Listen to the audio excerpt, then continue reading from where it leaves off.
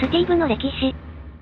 マイクラにおいて最も有名と言っても過言ではないほど、認知度の高いキャラクタースティーブの歴史を紹介していくぜ。まずはこのスティーブを見てみてくれ。見た目は見たことのあるスティーブだけど挙動がおかしいよな。こいつはそもそもスティーブという名前ではなく、人間、という名前が付けられたモブなんだぜ。後日、モンスター、という名前に改名もされてるんですわ。人間は Java エディション、プレクラシックのアド16005でスポーンできるようになったモブだ。と言っても自然スポーンするわけではないぞ。キーボードの G を押すことで無限にスポーンさせることができるんですわ。体力はハート10個分、攻撃力はイージーだとハート半分、ノーマルだとハート1個分、ハードだとハート1.5個分だ。プレイヤーがオリジナルスキンでプレイしていても、人間の見た目には反映されるスティーブの見た目でスポーンしてたぜ。プレイヤーと違うところはたくさんあるぞ。まずプレイヤーのようにブロックを置いたり、破壊したりすることはできないんですわ。マップ上を目的もなく適当にうろつくんだが、よく見ると丸を描くように歩き回り時々ジャンプしてるぜ。草ブロックのような固形ブロックの影響を受けるから、ブロックがあると通過することができないんだが、水や溶岩のような液体の影響は受けずスムーズに移動できるぞ。クラシックの0.0.15では、人間をスポーンさせることができなくなったんですわ。だけどベータの1.6.6では一応スポーンさせることができたんだぜ。今までのように G を押せばスポーンさせることはできなくなったけど、マップエディターやモッドがあればスポーンさせることができたんだ。1.6.6以降でスポーンできる人間は敵対的で、ゾンビのようにプレイヤーを追跡し攻撃してたんだぜ。スポーン条件は明るさレベル7だ。明るさレベル7だとゾンビやスケルトンといった敵対的モブがスポーンする明るさだから、AI や設定が敵対的モブとほとんど同じになっちまってたということだな。さっき人間からモンスターへ名前が変わったと紹介したけど、名前が変わったのがこの辺りからだったぜ。1.8以降は人間をスポーンさせることができなくなったぞ。どうもこんにちは。マイクラやってるかい ?10 月31日といえばハロウィンだな。みんなは仮装をしたりパーティーをしたりするのかな？私かい？私はマイクラで遊ぶ予定だが今年は仮装もしてみようかな。私に似合いそうな仮装、コメント欄で教えてくれよな。それじゃあスティーブの歴史の解説に戻るぞ。動画の後半ではみんな知ってるスティーブだけでなく、7人のスティーブも登場するからお楽しみに。みんなはこのスティーブを見たことあるかい？マイクラとはかなり雰囲気が異なるタッチの見た目だが、こいつもれっきとしたマイクラのモブなんですわ。名前はスティーブ、と言いたいところだが、実は名前はきちんと決まってるわけではないんですわ。ノッチは彼のことは正直わからない、とスティーブについて言及しており、公式ではスティーブ？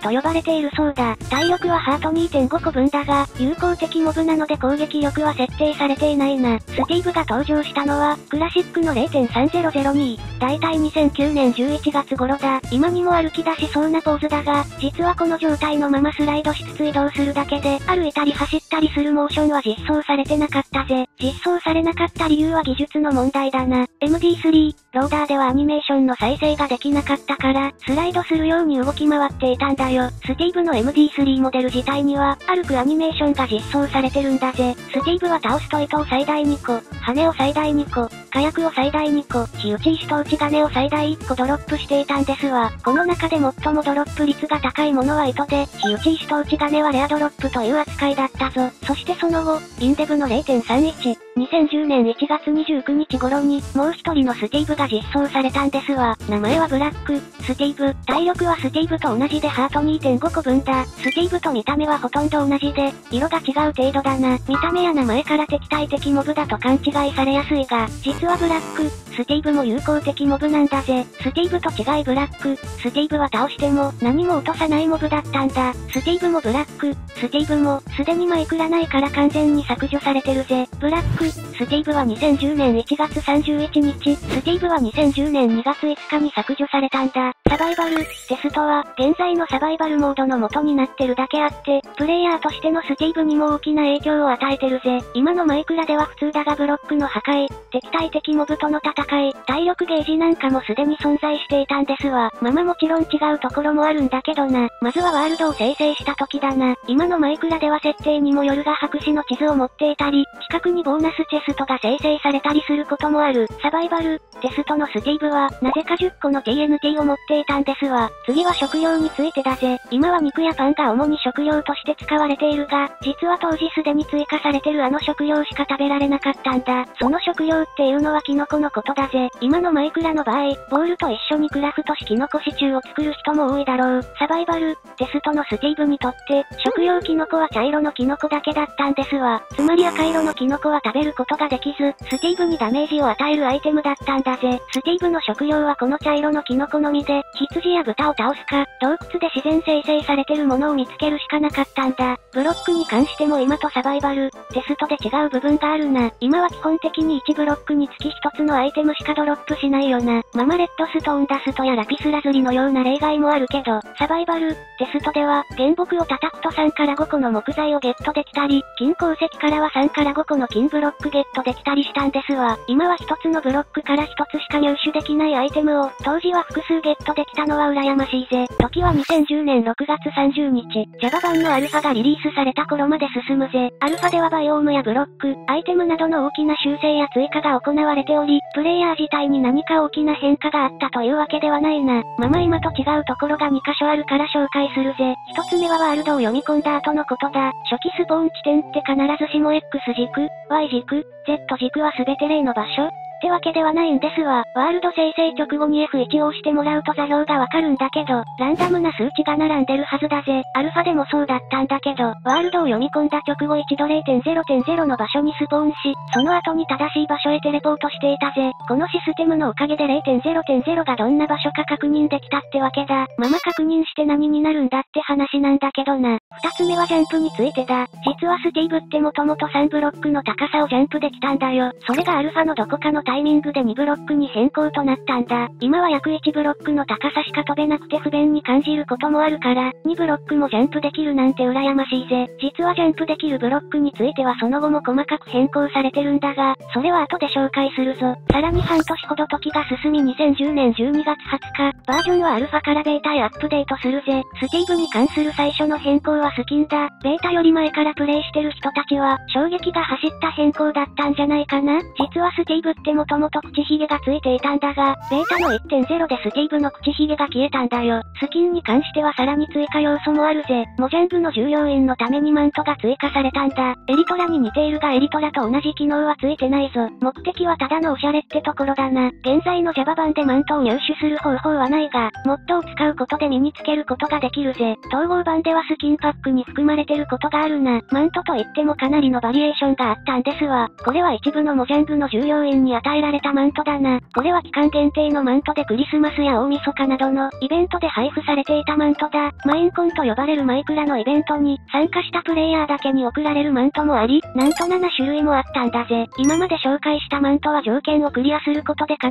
ずもらえていたんだが、中には世界で一人しか持ってないマントも存在するぞ。ベーコンケープはピップマンのアイデアをノッチに与えたミクレイに送られたマントだな。バレンタイン、ケープはマイクロソフトアカウントの移行に関する問題を解決した暁として、モジャングの従業員からロルフォクシー2に送られたんだ。もちろんモジャングの関係者ではない一般人に送られたマントもあるぞ。ミリオンスカスタマーケープは、100万番目にマイクラを購入した、アクロンマンワン氏のために特別に作られたマントだ。おっと、話がそれたな。さっきも紹介した通り、通常の Java 版でマントを入手する方法はないが、マイクラ内から削除されたわけではないため、今も装着してマイクラを遊ぶことができるぜ。ベータ版がリリースされてから Java 版がリリースされるまでの間に、スティーブに関するある噂が立ったんですわ。みんなもよく知ってるであろうあの都市伝説だぜ。名前はヘロブライン。ヘロブラインについては過去の動画で紹介してるから、今回はサクッと解説するぞ。ヘロブラインはスティーブとほぼ同じ見た目をしている。唯一違うのは目だな。スティーブは黒目が描かれているのに対し、ヘロブラインは白目なんですわ。ワールドに突然出現したかと思うと、砂のピラミッドや 2×2 のトンネルといった謎の建造物を作ることもある。原木を残し葉をすべて刈り取る行動も確認されてるんですわ。ヘロブラインの歴史は2010年8月、海外のネット掲示板、ぴょんちゃんに投稿されたことから始まったぜ。ぴょんちゃんの投稿自体はあまり注目されなかったんだが、コペランド氏がライブストリームで、ヘロブラインを発見する演出を行ったことで注目を集めることとなったんだ。モジャングもヘロブラインを気に入ってるようで、PR 画像のヘロブラインが登場することもあるぞ。時は2011年11月18日、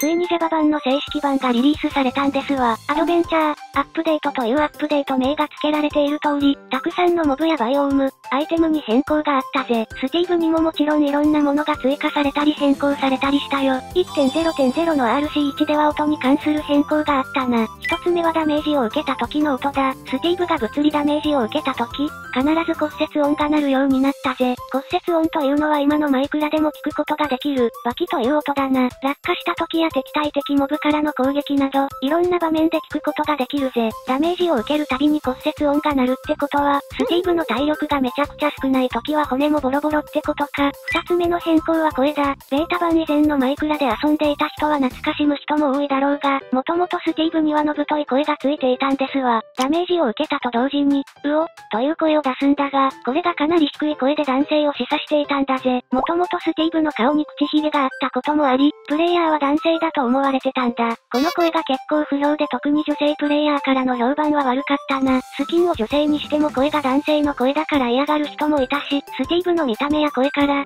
マイクラの主人公はおっさんか、と少しがっかりする人もいたらしいぞ。プレイヤーが男性でも女性でも通用するように、声を変更しプレイヤーの性別を中性にしたんですわ。ちなみにその後の1.8、プレイ値では、アレックスと呼ばれる新しいモデルも追加されたぜ。アレックスについては別の動画で解説してるから、こっちも確認してみてくれよな。今まで Java 版の話ばかりだったが、一度レガシー、コンソール、エディションのスティーブを解説させてくれ。2015年12月17日、レガシー、コンソール、エディションのパッチ1、1.0.1では最初のスキンパックが利用できるようになったんですわ。このスキンパックでは最もポピュラーなスティーブに加え、7人のスティーブのスキンが選べたんだよ。中でもタキシードスティーブは普通のスティーブとほとんど変わらないな。服装が変わってるだけで髪色が全く同じで、目の色が少し違うだけだな。サイクリストスティーブも髪色と目の色が少し違うだけで、馴染み深い見た目をしてると思うぜ。アスリートスティーブは肌の色がより暗い色になってるが、髪色と目の色はあまり変わってないな。このように普通のスティーブと大差ないスティーブもいるが、中には、